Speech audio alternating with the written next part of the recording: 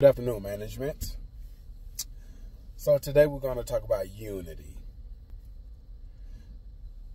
Because as an employee, every job that I've worked at, there were always it was always disunity.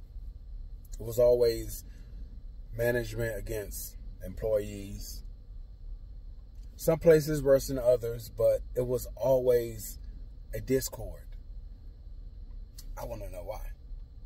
I mean, we were all created equal, no matter the color, race, gender. We all bleed and breathe the same as we are humans. The only difference between management and employees is the title, the position, job description. So this week we want to talk about how can we create unity in the workplace.